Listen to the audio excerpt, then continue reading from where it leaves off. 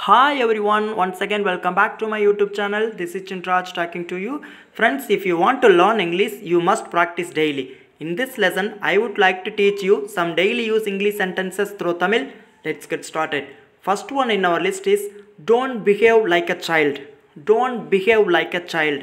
குழந்தை போல் நடந்து கொள்ளாதே குழந்தை போல் நடந்து கொள்ளாதே and next one don't tell me all this don't tell me all this இதையெல்லாம் என்னிடம் சொல்லாதே.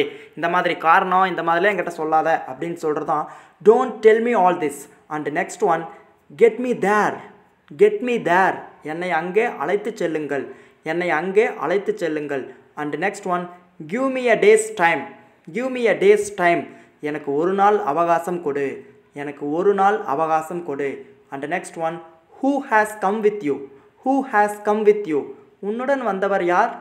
உன்னுடன் வந்தவர் யார்? And next one I have broken sleep I have broken sleep எனக்கு தூக்கம் கலைந்து விட்டது. எனக்கு தூக்கம் கலைந்து விட்டது. And next one I have pain in my knees I have pain in my knees எனக்கு முழங்காலில் வலி இருக்கிறது. எனக்கு முழங்காலெல்லாம் வலிக்குது அப்படின்னு சொல்கிறதுக்கு தான் I have pain in my knees and next one my eyes are hurting my eyes are hurting என் கண்கள் வலிக்கின்றன.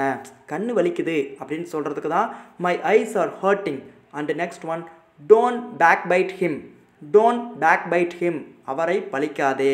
அவர் போனதுக்கப்புறம் அவர் அப்படி பேசினார் அவர் அப்படி இருக்கிறாருன்னு அவரை கிண்டல் பண்ணாத. அவரை பழிச்சு பேசாத அப்படின்னு சொல்கிறதுக்கு தான் don't backbite him and next one are you getting my point are you getting my point நீங்கள் என் கருத்தை புரிந்து கொள்கிறீர்களா அல்லது என் கருத்தை நீங்கள் புரிந்து கொள்கிறீர்களா நான் சொல்கிறது உங்களுக்கு புரியுதா? என்னோடய பாயிண்ட் உங்களுக்கு புரியுதா அப்படின்னு கேட்குறதா are you getting my point okay friends that's all thank you so much